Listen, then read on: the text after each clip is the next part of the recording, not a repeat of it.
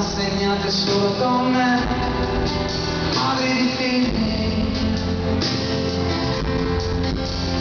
e sarei così curioso di vedere se all'interno delle loro decisioni riuscirebbero a ascoltarsi.